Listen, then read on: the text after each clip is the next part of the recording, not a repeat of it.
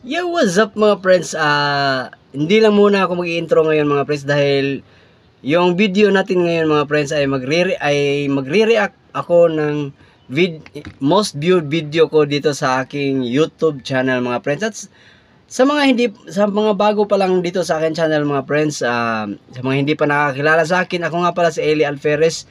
Ah, welcome to my YouTube channel mga friends. So, hindi na natin patatagalin to. Magre-react na, na tayo mga friends uh, itong video na i-react most viewed to sa akin channel mga friends ang title nga pala nito tamang paraan ng pangingisda. Uh, ano na siya? Ah, uh, 500 83 views na siya mga friends at nai-upload ko tong video na to noong September 6, 20, 2020. So, yun mga friends. Ah, uh, hindi natin patatagalin to.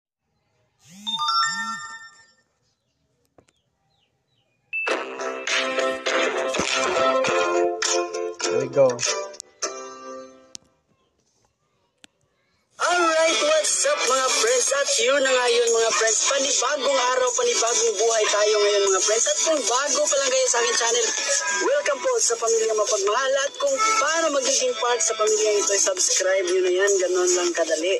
For today's vlog mga meron na tayong friends. katalakay. Saglit na nga, grabe yung intro.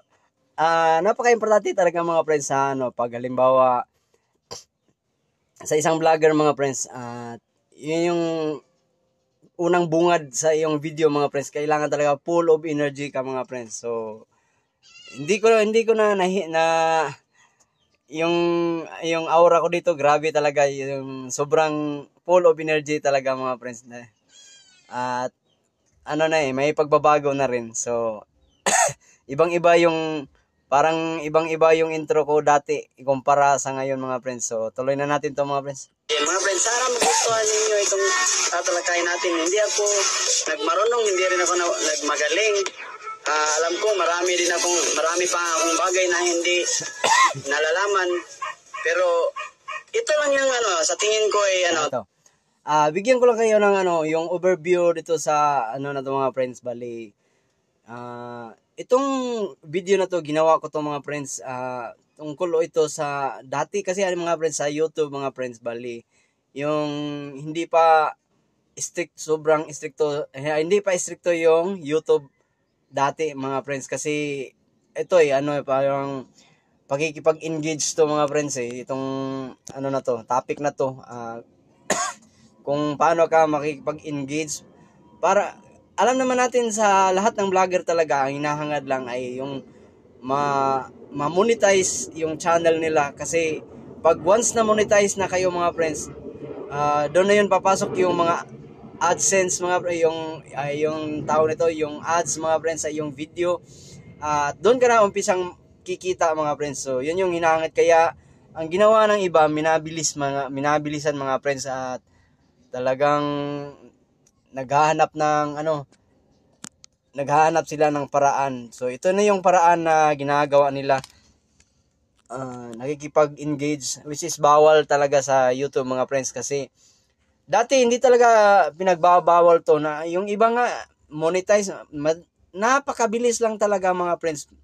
Kasi ano eh yung pakikipag-engage pero nung nalaman ni ng YouTube na ganun palang kalakaran so ibig sabihin pag ano eh yung yung nadidetect nila kung nakikipag-engage ka sila na mismo nang tatanggal sa mga nakikipag-engage. So ah, tuloy na natin to mga friends lang yung ano, sa tingin ko ay ano, tama.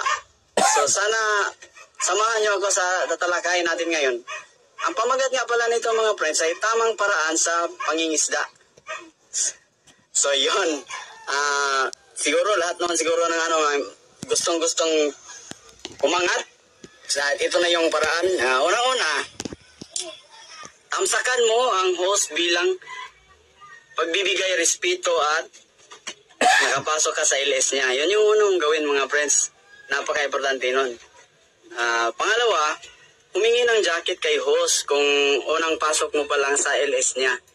Para for security na rin mga friends eh, mag, ano, Kasi kung walang wala kang jacket, baka Ay, ayun mga friends, ah, kung napapansin nyo to sa video na to mga friends, bali, ah, halatang halata yung meron akong binabasa mga friends. Importante naman yan sa pagbablog mga friends na yung hindi ka mauubusan ng salita mga friends. Dapat ano eh, walang dull moments dun sa yung video mga friends na kailangan talagang meron kang yung continuous yung ano yung momentum ng iyong pagbablog mga friends. So kaya yung dati nagbablog ako mga friends sinusulat ko talaga mga friends para hindi ako mauubusan ng ah, sasabihin mga friends. So tuloy na natin to.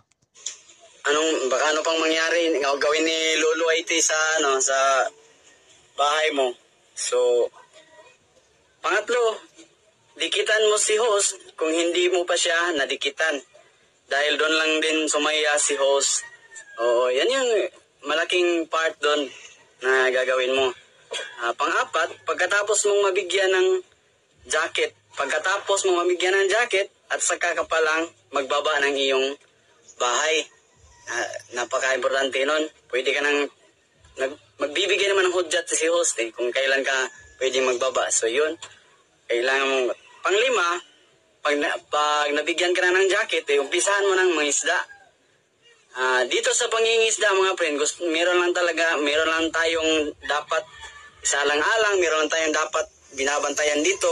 Ah, dito sa sinasabi kong pangingis pangingisda mga friends, hindi talaga hindi to literal na pangingisda. Ah, ito yung sinasabi ko kanina na pakikipag-engage sa ibang channel mga friends. So, there we go. Ah, unang-una, wag basta-basta lang wag, wag basta-basta lang na nakadikit ka, tapos nakatamsa ka na, tapos alis ka na kagad doon sa bahay na, na di- pinuntahan mo. Wag ganun mga friends kasi ano eh, sa ah, dapat alam mo kasi yung kalakaran dito sa YouTube. Ano, ano lang mga friends, ah, ito mga friends. ah, kailangan kasi sa ah, trivia lang mga friends. Ah, kung matagal na kayo dito sa akin channel mga friends at habang ako nagsasalita, hapit, habang gumagawa ako ng habang nagba-vlog ako mga friends, ah talagang na habit, parang habit ko na yung ano, yung habang nasa harap ng camera, hindi ko maiwasan yung ano, yung parang ganito yung eh, nagpupunas ng mukha tapos ang malimit mo nyo talagang makikita yung ano eh, yung lagi akong nakahawak sa aking ilong. O ya, ganun. Hindi ko ma ano yan hindi ko maiiwasan talaga yan. Talagang nagiging habit ko na. Ano eh, pag, pag meron kang bahay na puntahan, kailangan mong manatili doon 3 to 5 minutes para hindi ka magiging spam. Ang napakasama nitong pag na-spam ka ng mga friends, dag, siguro isa, dalawa, tatlo na ginagawa mo to, para lang din itong ano eh, para lang din itong lisensya mo doon sa LT, LTO na may, kunyari may violation ka, siguro malalampasan, papalampasan ka pa na isa, dalawa, tatlo. Pero dito sa Waite mga friends, kailangan nating mag-ingat kasi ano eh, napakalaking bahagi mga friends. Kung mangyari, pag nagiging spam ka na, ah baka magiging ghost channel ka na din. May ang, ang mangyari niyan, ah doon sa nag-ALS, tapos pumapas, pumasok ka doon, makikita mo sila, pero sila hindi ka nakikita. Nagiging invisible ka sa kanila. Pero, so ano nang mangyari sa iyo doon? Wala, ka ng kwenta. Kaya yun ang dapat natin mai- maiwasan hanggat maaari. Ah, ako naman, aminado din ako. Bago ko pa lang din ito nalaman, nalaman ko lang din ito si Ivan. Napaganda lang nito mga friends pag ano, na, nasa LS ka, marami kasing So, dito iba friends, ah. nagbibigay Kung napapansin nyo dito mga friends, parang dito sa video baba sa ah, dito sa aking ano may ano yan, may pi, may piklat ako dito niyan mga friends kasi ano eh. ah, itong video na to ginawa ko to bago pa lang pumutok yung pigsa. Nagkakapigsa ako dito mga friends. Talagang ang saklap kasi napakasakit talagang lumubo siya ng husto. Kaya yun, pag hindi ako nakakapag-vlog kaagad nito mga friends. Siguro mga isang linggo yata hindi ako nakakapag-vlog bago ko ito ginawa mga friends. Bago ko ito na-upload kasi ano eh. Nay, may, nahiya ako sa harap ng camera mga friends. Napapansin kasi, kitang-kita. ng payo, nagbibigay ng impormasyon para lang din ma matauhan ka. Pero huwag naman sumama yung loob mo pag nasabihan ka kasi yung pagkakamali mga atin mga friends, doon mo maitatama. yung pagkakamali mo, yun yung part doon. Ah, maganda lang doon, bukal yun sa loob mo na tatanggip, tatanggapin mo yun, isa, isa puso at isa isip, para naman, magi, para ika, ika i-improve din sa pagiging YouTuber mo, ganon. so, pangalawa, wag agad, ayun, wag, wag agad umalis, tapos, mag, mag-iwan ng bakas para may babalik, babalikan ka, para babalikan ka doon sa na nadikitan mo. Mag-iwan talaga ng bakas pero dito sa pag-iwan ng ba- bakas mga friend, kailangan mo mag- mag-ingat kasi maaring wag ma wag ka na, wag mayayra mo mag-ingat sa pag ano pagbabakas kasi dito sa pagbabakas mga friends lalo na sa mga sa words na, na eh. English kaya sa na hindi dapat gawin o kaya hindi dapat kasi ano eh baka kailangan mong ingatan talaga kasi para ma hindi hindi malaman ni Lolo Whitey na nakikipag-ugnayan ka doon sa bahay na pinuntahan mo. Ganon. Lalo na pag halimbawa nag merong ito ito as ano example lang naman to eh pero madalas mangyari ito. Kung nababasa niyo ito sa comment section nito ninyo, tanggalin mo na o kaya naman huwag ka nang maghintay na hudyat doon sa na dumikit sa'yo. Kung sino man yung nagko-comment sa'yo ng ganon. Ah, lalo, ito, ah, example. Ito mga friends, ah, dati kasi mga friends, ah, ang tagal ko talagang matutulog mga friends, kaya, at saka ano rin eh, kaya, ako pa naman ay ano, yung, yung eye bags dito, talagang lawit na lawit yung eye bags ko, at, ano na yan, anong lahi na na talaga namin yan na, medyo, nakakaumbok yung ditong, ano, yung, eye bags mga friends. So, sa video na to, napapansin nyo, mas lalo itong, mas lawit pa lalo kasi kulang sa tulog talaga. Oo, kulang sa tulog. Keep up the good work. Tapos, take care. God bless you. Hanggat maaari, iwasan natin yun. Bawal daw yun talaga. Kung sa Tagalog naman na termino, wag, ah, wag gawin tong ano, wag magko-comment ng padikit o kaya pasukli. Kaya pabalik doon sa mismong comment section nila, wag, wag gawin yun. Bawal na bawal talaga yun. Kung magko-comment lang din kayo, eh, tungkol lang doon sa video na pinapanood ninyo, at wag nang masyadong, yung ta- tinatawag nilang pabuntot, wag nang masyadong mahaba. Kailangan, kung magko-comment ka, diretso na lang, diretso yung ah, comment mo. Wag, mabuti na yung maikli, kaysa hindi ka naman ma- makasira ng bahay. Di ba? Ang, ang importante lang doon na pagbabakas mo, nalalaman ni nalalaman ng may-ari ng bahay na ano, na, napuntahan mo na siya. So, yun. Ah, pang-ani mga friends, pagkatapos mo nang magbakas, kailangan talaga, eh, ulitin ko lang ha, kailangan talaga umabot ka sa 3 to 5 minutes bago ka umalis sa bahay na pinuntahan mo. Para maiwasan natin mas spam. Kung yung ang iba nag-iingat, ikaw, mis, ikaw na rin mismo sa sarili mo na pumupunta sa kanilang bahay, mag-iingat ka lang din kasi para na din si kakabuti ng pamamahay mo. Pang-ani mga friends, pagbalik mo sa. LS, pagkatapos mong Tanga talaga. Iba, iba yung sa kabuti. ibang Ikakabuti. bahay, pagkat- pagbalik mo sa LS, ipaalam mo din sa nadikitan mo para mabigyan ng pansin. Yun, kung halimbawa, ano, para si host na mismo ang magbabanggit, bibigay ng pansin, ipaalam sa nadikitan mo. Yun. Maghintay lang din ng maghintay lang din, habaan ng habaan ng pasensya para yung iba kasi nagiinit ang ulo eh.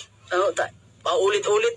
Laging sinasabi na, oo, nasasabihan na ako noon na ilang beses na ba, nag, kasi busy, busy busy tayo eh, busy busy tayo na, lalo na pa na to, medyo maputi Ako pa kasi, dito pag ano, pag pumupunta na ako ng bahay, ibang bahay, kailangan talagang mag, magtatagal ako doon mga 3 to 5 minutes bago ako ang mangyari kasi sa iba kasi sig- siguro sa kagustuhan na rin makarami naintindihan naman natin yun pero siguro kung makakarami ka man din ah pagpalagay natin may madadagdag sa iyo 10 pinakamarami na siguro 20 Ba- lagay na pagpalagay na lang natin 20 tapos yung ginagawa mo tamsa ka lang din, tapos dikit, tapos alis.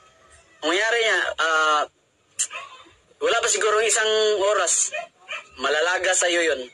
Hindi na, ang iba kasi nag-iisip na ano, ah, yung may-ari ng bahay ang kumakalas. Hindi hindi yun mga pres, siguro ang mangyari, nangyari niyan si Lolo Whitey na ang gumagawa para sa inyo noon kasi sa mga ginagawa mo na ano, dikit ka lang. Minomonitor tayo kasi tayo ni ano, eh, Lolo Whitey. Ah, dikit tapos ah, tamsa, tapos alis agad. O ganun. Kailangan talaga 5 minutes bago ka umalis doon sa ano, sa baha pamamahay na yun. Ah, so yun. Pero pag, pag halimbawa wala, ba, hindi pa siya bumalik, tapos natapos na yung ano, natapos na yung LS, saka mo na lang i-review yung ano mo, tapos pwede mo nang tanggalin kung hindi talaga bumalik. Kasi ano eh, So sa panahon na to mga friends, grabe talaga usong-uso yung pag-iilis ng mga friends kasi hindi pa nga bawal. Eh, ngayon napaka konti na lang nag-iilis ngayon mga friends. Oh, nung buhat nung nag- nagiging stricto na si Lolo Whitey. Ano pang silbi doon? Ang importante kasi dito sa pagiging ano natin, give and take, kumbaga. Yun, give and take lang. Kasi kung kung puro lang sa atin, tapos sila, hindi hindi na kinabang. Ay, anong pang silbi doon? Di, tanggalin ha. Di ba? Ako na nagsasabi sa inyo. Ah, para naman ano eh, tulungan kasi tayo dito eh. So, sana may natutunan kayo sa tinalakay natin ngayon. Ah, magsha-shoutouts muna ako bago natin So, if you tapusin like to. this video mga friends, ah, at sana na nagustuhan niyo tong ano, yung video na to. Tapos if you like this video, just give this video a thumbs up para naman magiging compliments yan para sa akin mga friends. Maraming salamat sa panonood mga friends. Hindi natin patatagalin to. At magandang araw sa ating lahat mga friends.